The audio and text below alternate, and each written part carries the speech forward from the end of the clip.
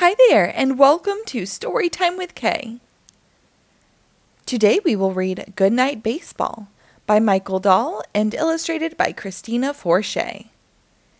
This book was published by Capstone Young Readers in 2013.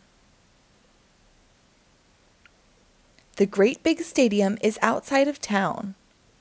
Fans and friends come from miles around. We walk through the gates.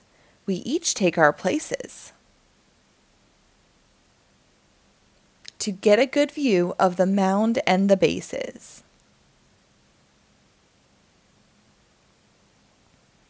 We eat popcorn and hot dogs and hold drinks in our laps with the names of our favorite teams bright on our caps.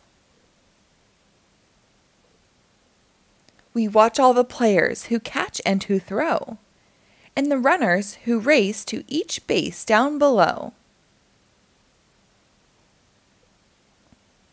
Then the crack of a bat, a home run, what a hit!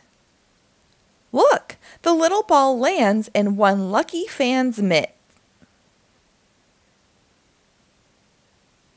The fans stand and stretched at the late seventh inning, and the game goes on, the home team close to winning. Everyone cheers. The home team won. Now the fans are all chanting, We're number one. Then the crowd waves goodbye. Good night, teams. You played a great game. Now sleep well and sweet dreams. Good night, Diamond. Good night, Grass. Good night, home plate, where each runner ran past. Good night, Bat. Good night, Mitt, that reached up high and caught a fast hit.